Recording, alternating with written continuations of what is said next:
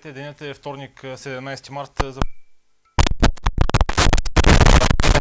Ще си говорим днес с доктор Георги Желев, който е преподавател в Тракийския университет, специалист в епидемиологията, инфекциозните болести и специалист в а, превенцията също. Здравейте. Здравейте. Благодаря, че приехте поканата. Вчера всъщност така едно интервю в сайта на Тракийския университет предизвика сериозен интерес. Надявам се разговорът днес също да бъде полезен за, за нашите зрители. В никакъв случай обаче не искам да кажете, че ще плашим хората или ще предизвикаме още паника в така иначе вече стреснатия народ. Да надявам се информацията, която предоставите основно вие, наистина да им бъде, да им бъде полезна и доколкото е възможно в настоящия момент да ги поуспокои малко хората, тъй като виждате какво се случва по улиците. Точно така и да ги успокоим и да направим мерките доста по-ефективни. Uh-huh тъй като има много детайли, много тънкости, много всъщност така критични моменти, които предопределят дали процедурата, дори ако ползваме маска или правим дезинфекция, всъщност има много детайли, които трябва да се спазват, за да бъде в крайна сметка а, процедурата ефективна и реално да защити хората или да им даде просто погрешната иллюзия, че правят нещо и изместват фокуса от а, а, истинската възможност да се защитят. Ако искате направо да започнем с това, Добре. Да, виждам, подготвили сте маска, дезинфектант и, а, и вода. Първо, а, искам да обърна внимание и да оборя някои митове, в, а, които тиражират изключително uh-huh. много в а, социалните мрежи. Дали маската е подходяща за употреба, дали трябва да я ползват само болните, дали трябва да я ползват и здравите. А, Истината е, че маската е абсолютно задължителна на този етап да се ползва от, всички хора, особено когато ползват обществени места и то от затворен тип, като автобуси, влакове, офиси и така нататък. Защото да, маската, особено тези, които не са пригодени за спират бактериални uh-huh. или вирусни агенти, те не могат да дадат 100% защита, да, да спрат на 100% вируса, но определено биха намалили а, инфекциозната доза, която хората приемат. А това е много важно. Защото трябва да знаете, че за да настъпи заболяване, една, две, десет хиляда вирусни частици не са достатъчни да предизвикат а, инфекция и заболяване. В микробиологията е познато така е нареченото явление минимална инфектираща доза. Тоест, за да настъпи инфекция и заболяване, човек или животното трябва да приеме определена инфекциозна доза и тя обикновено не е малка. Тоест, ползвайки тези маски на обществени места, риска да поемем висока инфекциозна доза се редуцира, оттам имаме шанс дори да, да се предпазим от заразяване. И второ, така, има обаче условия и с поставянето и ползването на тези Инфекциозната доза, която мерки. приемаме, пряко влияе и върху развоя на заболяването. Тоест, колкото по-висока доза се приеме, толкова по-бързо, по-тежко и по-неблагоприятно протича заболяването. Въпросът е а, как се ползва тази маска. А, масово забелязвам грешките, които се правят тези маски да се слагат по джобове да се пипат с мръсни ръце, включително и вътрешната част, която след това ще има контакт с, uh-huh. а, с устата. А, при поставяне на маската е добре да се използват само тези ушенца и след наместване на металната пластинка, която да оплътни маската около носа, чрез издърпване странично на маската, тя да се регулира. За съжаление, повечето хора а, при поставянето на маската слагате, започва едно пипане, включително е, ето така наместване с пръсти, т.е. заразяват вече вътрешната част на маската. Същото а, въжи, когато сваляме маската. Ако ние сме ползвали няколко часа и то в рискови обществени а, места, а, въздушният поток, който вдишваме, всъщност концентрира вирусните частички. И при сваляне на маската е абсолютно противопоказан на пипането на тази фронталната част, която е пред устата. Много е важно просто да я свалим, без да я докосваме, тъй като след това а, за, може да заразим ръцете си и пипайки ниво някоя част от лицето си да всъщност да настъпи инфекцията. Много хора също така в Фейсбук, за съжаление, твърдят, включително и медици, че а, да, вирусът а, може да, заразяването може да се а, стане чрез падане в конъюнктивата, но хайде хората да се замислят как, каква е площа на конъюнктивата uh-huh. на окото и каква е възможността този вирус да седиментира по очната а, конюнктива и какъв е риска от инхалирането на този, каква, каква инфекциозна доза приема. Също така, просто искам да обърна внимание на хората, а, Вирусът се излъчва с издишания въздух и с капчиците, които се отделят при кашляне и кихане. И този вирус остава като инфекциозен аерозол в обема въздух. Това, което ми прави впечатление, е, че повечето хора слагат маска, например в офис, в почта и така нататък, когато човек дойде клиента и в момента, в който той напусне съответния офис, служителя сваля маската си. Трябва да се разбере, че да, човека може да се тръгне, но вирусът остава. Значи по-добре е да се направи едно добро проветрение и служителите да работят постоянно с маска, защото всъщност вируса се задържа няколко часа върху в... различните повърхности. И върху повърхностите, и върху, и върху въздуха. А, сега имаше едно друго, битуваше едно такова схващане, че здрав човек слагал маската от едната страна, а пък бил болен, слагал от другата страна. Не, не, Има това ли? са, не, това са абсолютни митове, които социалните мрежи вече изобилстват от всякакъв характер. Добре, как хората според вас наистина да избягат от тези фалшиви новини, за съжаление, те всеки ден сигурно следите информационния поток, появяват се какви ли не и специалисти се навалиха по всичко, включително и по коронавируси вече. Времената са такива. Дори ни трудно се ориентираме наистина в фалшивите новини. Просто този поток от информация и тези манипулации, които хората се опитват нали, да разконцентрират обществото, са много даже, даже опасни.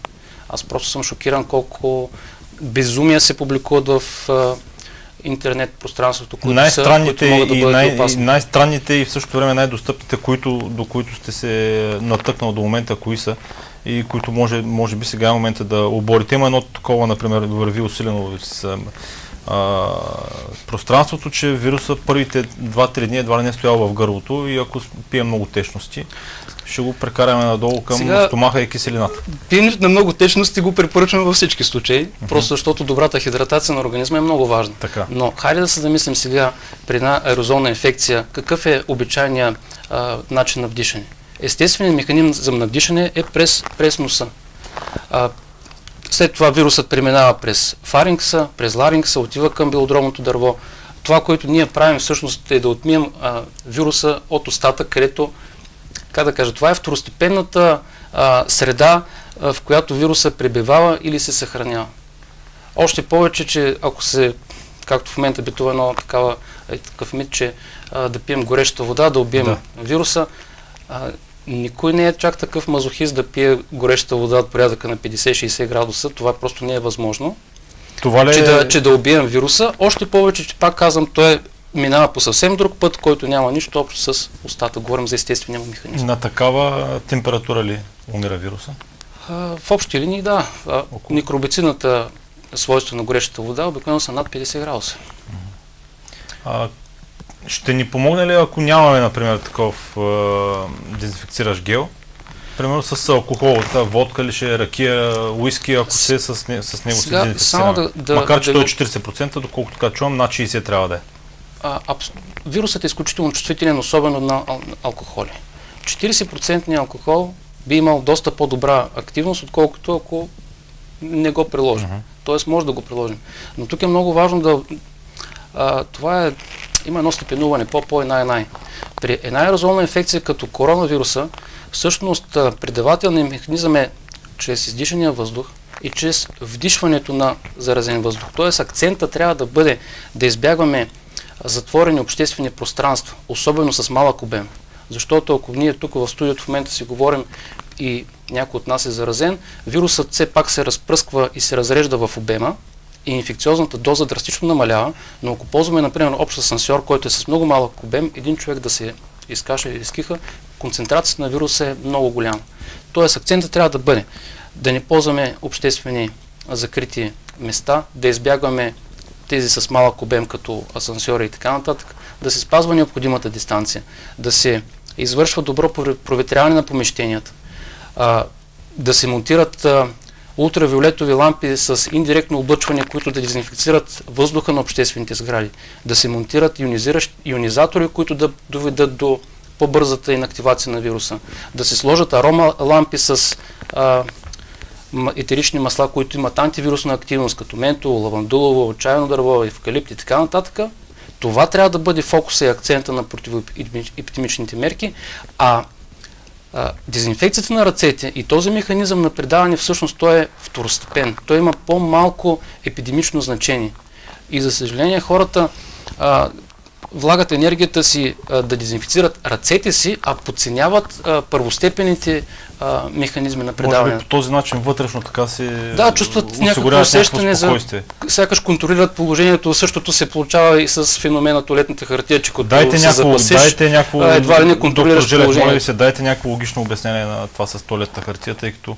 Просто когато а... напрежението стане твърде много, човек а, измества фокуса от вниманието си върху нещо, което му е а, възможно да контролира и по този начин се създава вътрешното усещане, че едва ли не а, контролира положението. Не е опасно, но просто създава обществен хаос и наистина хората, които критичните пенсионерите, които нямат а, пари да се презапасят в един момент, точно тази група трябва да се даде ясно сметката, че ние я обричаме едва ли не на някаква нищета и много сериозни. Между другото, вчера това, което ми направи впечатление, то беше акценти в изказването от сутринта на генерал Мотавчийски. Със съжаление трябваше да констатираме, че имаше хора по улиците, имаше струпвания и то, съжаление, точно на възрастни хора. Как да го коментираме това, когато говорим за лична отговорност, за самодисциплина и за спазване на разпоредбите, които са Дадени с цел именно опазване, тъй като очевидно те са по-податливи, с по-слаб имунитет. Защо се случва това? Патова ситуация. Народопсихология. От една страна а, не искаме да всяваме паника, от друга страна може би единственият начин да наложим а, някакво стрипно изпълнение, да покажем примерно а, клиповете от интензивните отделения на Италия, да покажем наистина от епицентъра огнището на, а, на борбата за, за живот. Може би тогава ще се замислят тези хора колко е важно а, да се предпазят. А, свикнали сме да, чисто типично така по-балкански, докато ножа не, не опре до кокала, а, да, да си казваме, точно на нас ли, ама ние ли, нали, ние си удреме по една ракия. Това са толкова, ето, додохме до другия мит. Значи да, алкохола е ефективен, но за да настъпи убиване на вируса върху в респираторния тракт, в белите дробове, количеството на алкохола трябва да бъде изключително голямо. Това на практика е невъзможно да се постигне. Още повече, че хроничната злоупотреба с алкохол, т.е. честото пиене на високи количества, води даже и до имуносупресия. Тоест ето как а, един мит, който хората се хващат като давник за сламка или просто защото е такава психиката, всъщност може да доведе до по-тежко протичане и да влуши ситуацията. А, помага ли, например, сега грубо казано, жабуренето или гърга, с алкохол би ли имал някакъв ефект? Този ефект, да, би имало, но той пак казвам, а, не, е първостепен, да не, е, прави, не е първостепенен. Вирусът прониква през uh-huh.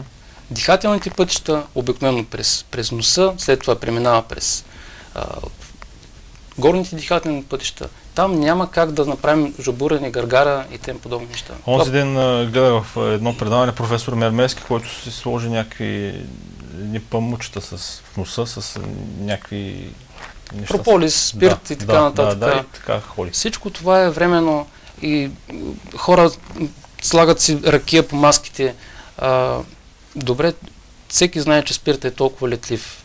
Вие нали си давате сметка, че няколко минути по-късно всъщност този спирт вече няма да бъде на маската. И това са безпредметни неща, uh-huh. които според мен по-скоро биха навредили, отколкото а, биха довели до някакъв реален противоепидемичен ефект. С а, антибактериалния гел. Така. Там какво може да обърка аз? И там ли може да обърка? И там може да се обърка.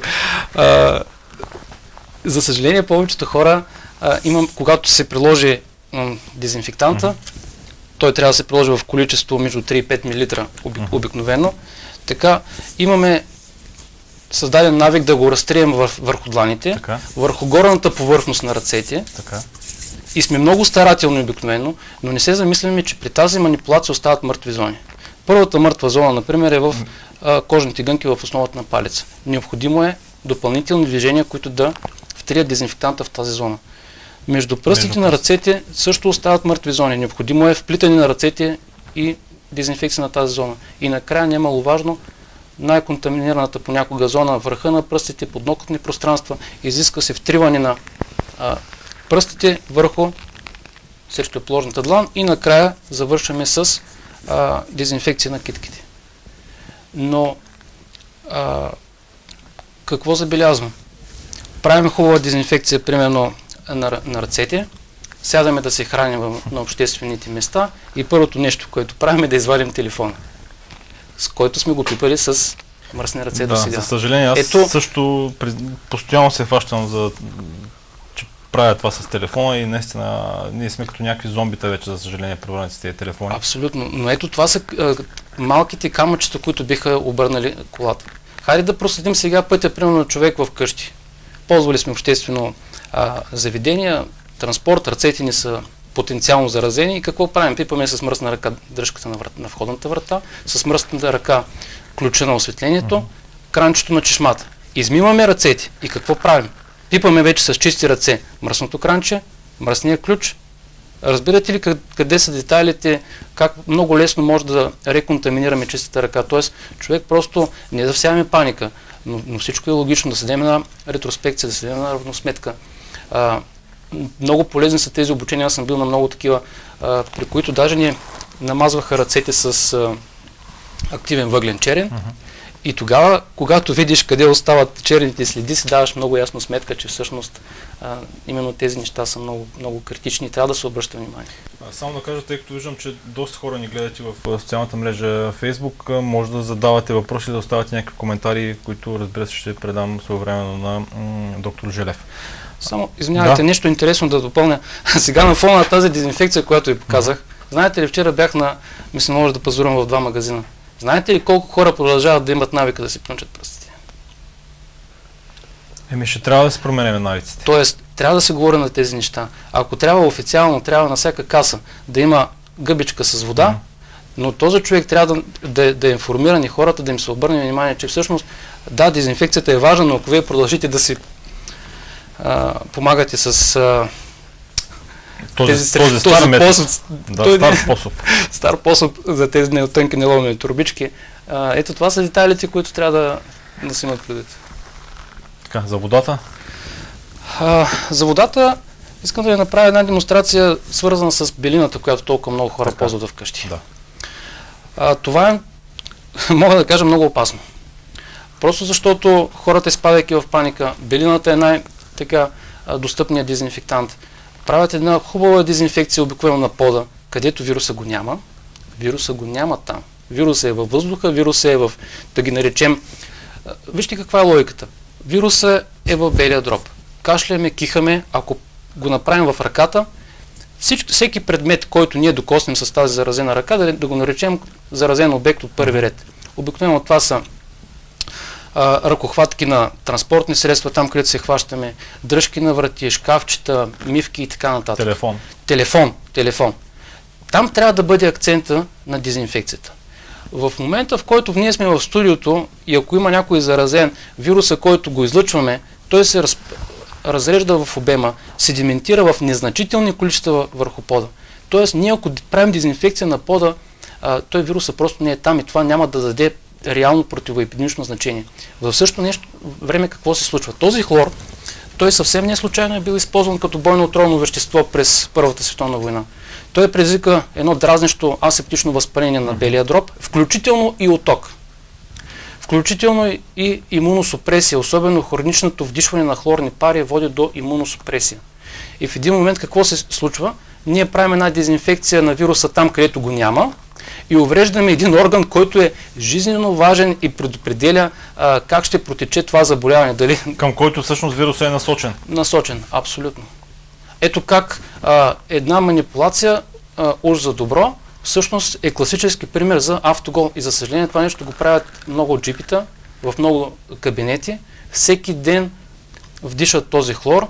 Те са на фронтовата линия и всъщност а, увредения от хлора белия дроб е подвластен на а, да се зарази и с по-ниска инфекциозна доза. Това е все едно да отворим една жива рана в а, респираторната система.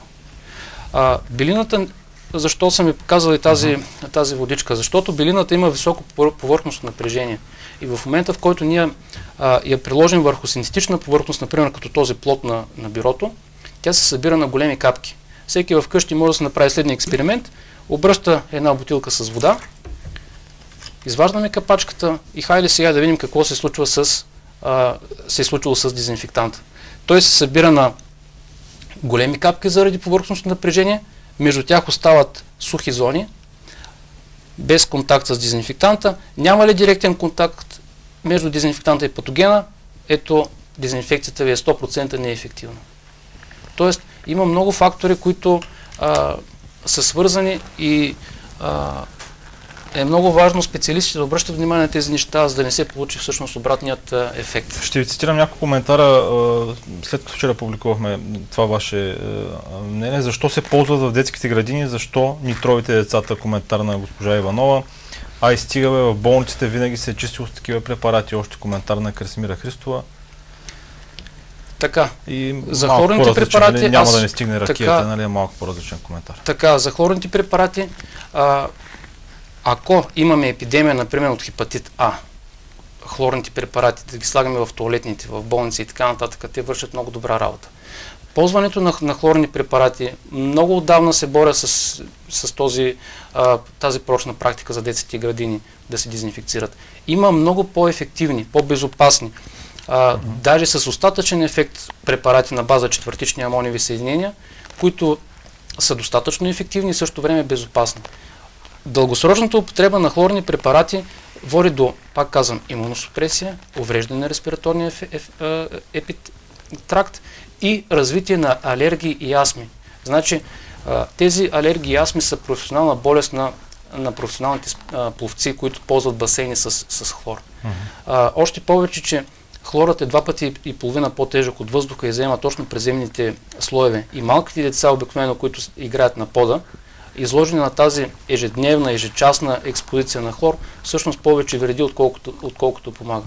Тоест, съвета ми е да се използват хлорни препарати само когато има някакво епидемично показание, т.е. да има някаква епидемия, в която се налага употребата на този тип а, препарати, но за обичайна дезинфекция, за обичайна хигиена, те по-скоро биха навредили, отколкото биха а, довели до някакъв а, ефект за, за здравето. Със сигурност следите работата на щаба и мерките, които се взимат и в тази връзка какво смятате към момента достатъчно сериозни ли са те или те са може би половината от работата, в другата половина е как ще бъдат спазвани?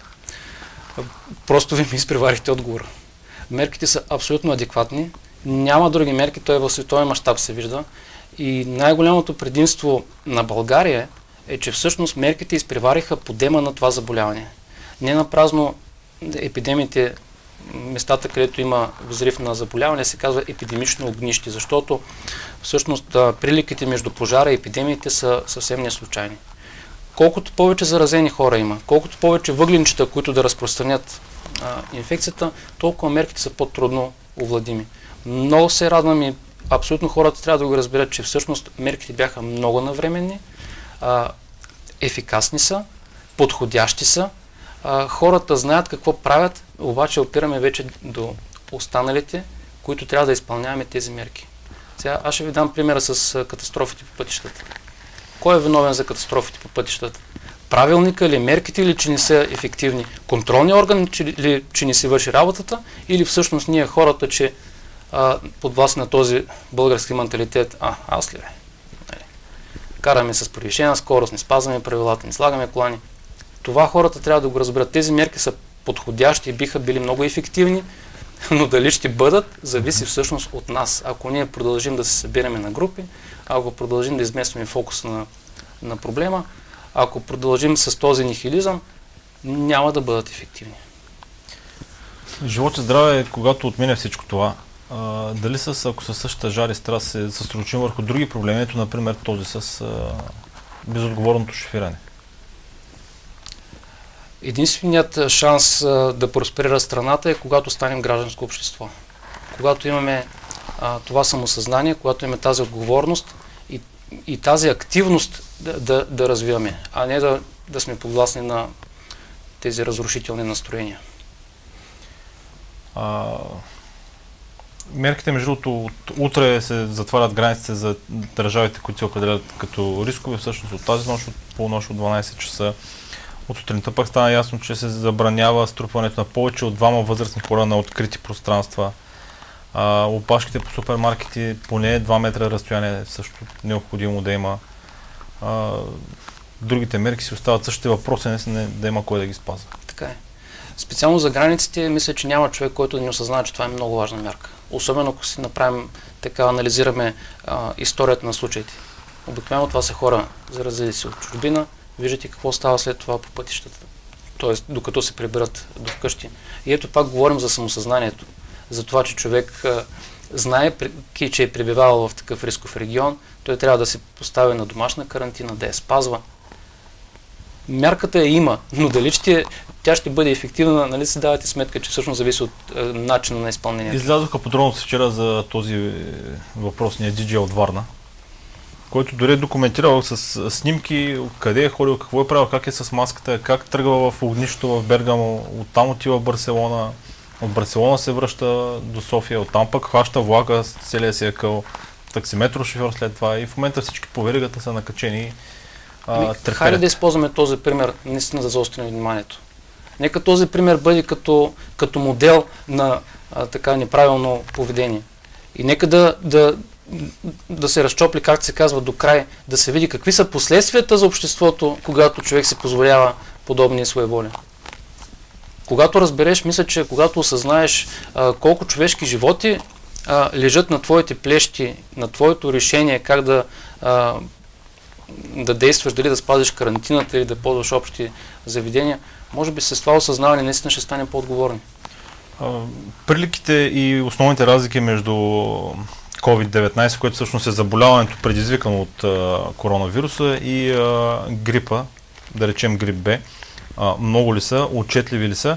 И нещо, което и вчера ми направи впечатление, преди две седмици слушахме генерал Мотавчиски в едно телевизионно участие, каза, че всъщност е, грип Б е вирус, заболяването, от което трябва да се преценяваме повече отколкото от коронавируса и само виждаме две седмици по-късно се оказа, че отново той в тази пламена реч, която предизвика много реакции, а, да твърдеше, че към нас идва нещо невиждано като своята ярост изпитание, да го цитирам точно.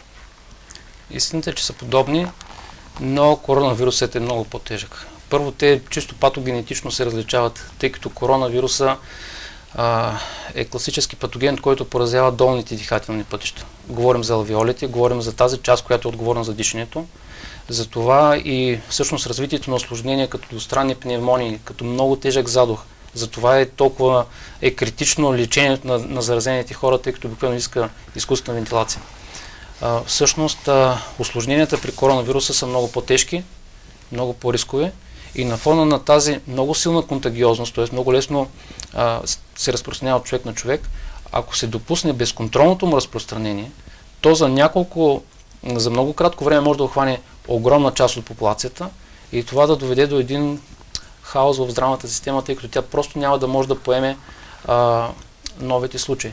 И нещо друго, което е много важно, което хората, които са привърженици на това, как нали, това била една проста грипна инфекция и така нататък. Само от декември месец до сега, в рамките на 3 месеца, вече има 3 генотипа на вируса. Имаме над 200 установени различни мутации.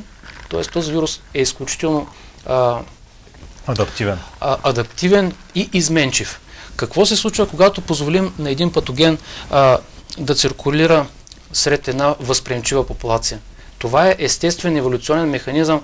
Патогените се приспособяват. Тоест, колкото по-дълго този вирус циркулира с една популация, той ще става по-приспособен към а, хората. И ще ви дам реален пример от практиката.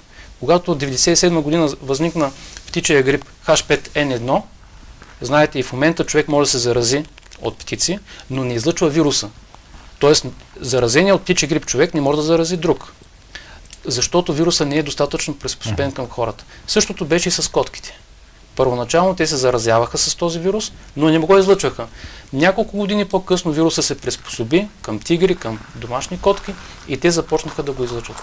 Ето това е опасността, когато ние позволим на тези патогени без, така без, а, безконтролно да се разпространява, че всъщност ние а, ще предизвикаме до една по-висока адаптивност, по-висока адаптация, по-лесно разпространение и оттам вече по-трудно владяване на самата а, ситуация. Очевидно не може да говорим, че този коронавирус е сезонен, но все пак а, факта, например, че в африканските държави, в Средна Африка и Южна, има или няма, или има по единични случаи, означава ли, че все пак с топлото време би трябвало да се, сега не знам дали да кажа, да се надяваме или да очакваме, а, случаите да намалеят и ситуацията да се поуспокои? Според мен със сигурност ще се отрази много благоприятно и със сигурност ще намали инцидентността на новите случаи, просто защото такава е логиката на респираторните инфекции. В момента, в който през зимата въздухът е влажен, тези влажни частици а, задържат дълго време а, отделените вирусни частици.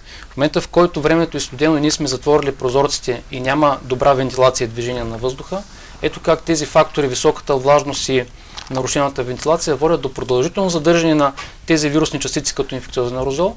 Оттам риска те да бъдат вдишани от хората е много по-висок, докато когато времето е топло, въздухът е сух, няма ги тези влажни частици да задържат вируса, когато има добра вентилация, когато устойчивостта на хората е повишена, когато ултравиолетовата радиация е по-силна и инактивира вируса даже и във въздуха, ето как тези фактори по един съвсем логичен механизъм биха довели категорично до редукция на, на заразяването. Но ако но всъщност проблема е, че местата, където настъпва заразяването, самолети, автобуси, те си остават, тъй като там обикновено въздухът циркулира а, в затворена система.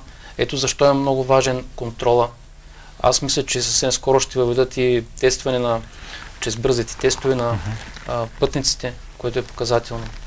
Много се спекулираше с това дали да бъдат въведени в практиката тези бързи тестове, защото са с а, недостатъчна чувствителност според някои специфичности и така нататък.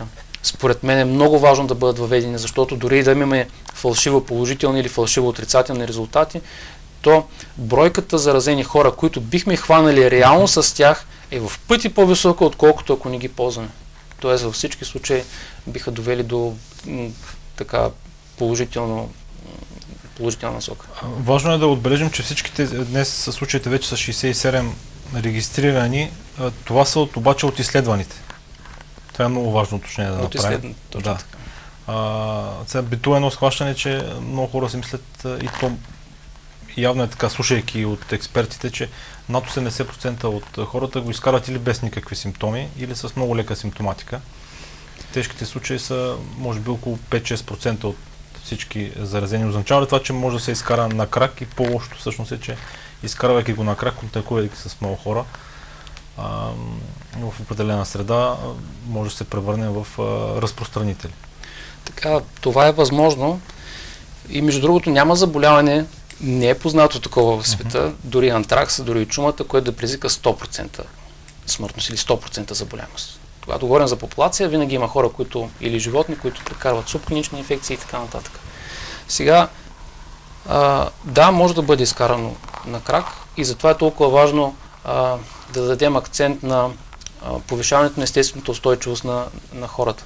Не да дишаме хлор, не да прекаляваме с алкохола, не да се, не да се запасяваме с вафли, с а, подобни а, храни, да ги наречем в кавички, а да дадем истинска храна, да, да, укрепим, да се укрепи този организъм, за да може да понесе по-леко инфекцията. Сега, когато говорим за риска в чисто епидемичен план, за това кой е по-опасен, дали клинично болния или uh-huh. скрития заразоносител, всъщност говорим за различни неща. Най-опасният е клинично болния, да, е защото той излъчва първо вирус в огромни количества, второ, например, една кашлица, едно кихане, ето как като самия акт на, на проява на клиниката съдействат за разпространението на а, инфекцията, но с на сравнително близки разстояния и затова е много важно да се поставя акцент на изследването клиничното а, преди ползване на, примерно, автобуси, а, самолети и така нататък. А вече скритите носители, те пък са важни за, в, дългостро... на дълги разстояния в дългосрочен план а, в разпространението на инфекцията, защото обикновено трудно се откриват. И затова е, за да се редуцира този проблем е важно, например, въвеждането на а, изследвания за, за коронавирус. Нещо, което, например, американците, знаете, го направиха и много държат едва ли не всеки американец да бъде изследван. Да, това има много важно. важно Вчера попаднах на един термин, който ще ви моля да ми разясните. Имунизация на стадото. Какво означава това? Ще ви дам, ще ви обясня термина, като да ви дам един реален пример с коронавирус uh-huh. и то от свиневъдството. 1946 година възниква едно заболяване при прасетата, причинено от коронавирус, което причинява една много тежка диария с много висока смъртност. Заболяването се нарича трансмисивен гастроентерит по прасетата. Сериозен бич за свиневъдството. В един момент това заболяване, както е проблем, изчезва. Какво се оказва? 82-4 година възникна един респираторен мутант вирус, пак коронавирус, който произхожда от вируса на трансмисивния гастроентерит, но е приспособен към респираторния а, епител. Този вирус се разпространява много бързо, предизвика една много лека транзиторна респираторна инфекция а, и всъщност трансмисивният гастроентерит изчезна, защото този лек респираторен вирус всъщност се разпространи сред световната популация и го иммунизира. А, това е всъщност тази стадна иммунизация. В момента, в който заболяването премине, една част от а, хората в случая при коронавируса ще го преболедуват и ще изградят имунитет и ще станат устойчиви.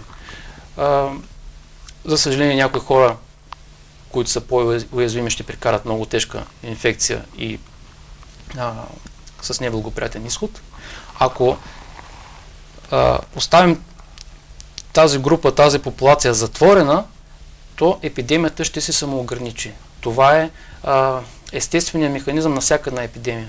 Но ако продължат в носа на възприемчиви хора, това е все едно, нали, не случайно сравнихме епидемията с пожар. Ако вие в този пожар, аха, аха започне да изгасва и ви му хвърлите един наръж пръчки, то тогава тази епидемия ще се поддържа. Тоест, по-скоро на... дори да се изгради така иммунизация на стадото в световен мащаб, дори е възможно в последствие, ако правилно разбирам, да има локални Точно а, така. Епидемии. Това, да, като локални огнища. Но да, възможно е да се... За вакцина много ли е рано да се говори още? Така, за вакцината никой не може да каже дали е много рано и за съжаление, а, вижте, има много заболявания коронавируси, коронавирусни, които са класически известни отдавна. А, това е също един друг мит. Така, омръзна ми вече да коментирам под снимки на едни стари ветеринарни учебници, как едва ли не коронавирус е бил известен от време одно, а и как в момента ни манипулират. Това са съвсем различни неща. Това са като пете пръста на ръката. Да, те са от едно семейство, коронавируси, обаче вирус на трансмисивния гастроентерит, вирус на инфекциозния перитонит по котките, вирус на коронавирусния ентерит при кучетата и другите коронавируси са толкова различни, че нямат, те причиняват съвсем, съвсем различни а, заболявания. Да ми помогнете, че за, вакци... да, за, да, за вакцината. Да. А, ами ето, например, срещу коронавирусния ентерит при, при а, кучетата има разработена вакцина. Uh-huh. Тя е достъпна на пазара. Ние не я ползваме, просто защото тя не е ефективна. А, ето го къде е риска. Например, ние може да произведем вакцина, както се получава и при грипните вируси, но тази бърза изменчивост на патогените а, драстично намалява ефективността на вакцината. Дали ще се разработи ефективна вакцина, дали, доколко ще бъде тя реално ефективна и за колко дълго, всъщност никой не може да прогнозира. То на първо време трябва да е безвредна, ако не е ефективна. Поне безвредна, да. да. Да, да си припомним думите на Хипо, Хипократ. Преди всичко ни вреди. И все пак а, някакъв оптимистичен финал. Кога може да му очакваме края на това нещо? Да, ще ви го кажа това вече колкото пъти, няколко пъти вече го повтаряме. Оптимистичният да. финал е, когато станем гражданско общество, когато осъзнаем нашата лична, персонална отговорност за а, справянето с ситуацията. Аз много харесвам една мисъл. А, мисли глобално, действай локално. Изключително много се дразни от каршмарския патриотизъм, на маса всички сме окей. Okay. И в един момент, когато трябва да приложим правилата, когато трябва да реално да бъдем полезни на обществото, знаете, знаете какво се случва. Да. Това е просто срамно. Да обобщим само за мерките, основната цел е всъщност да няма такъв рязък пик в кривата. Точно а така. да се, дори да се удължи във времето, но да бъде по-полегато, за да няма такъв натиск върху здравната система. Абсолютно. И да може хората да получат качествено лечение и да не се допусне адаптация на вируса към, към човешката популация. Защото може да се измени в посока, в която е непредвидима. Добре, така да завършим. Много благодаря за това участие. Надявам се да, да е било да. интересно и полезно на нашите зрители. реклами ще видим сега, после ще прегледаме и темите от ежедневниците.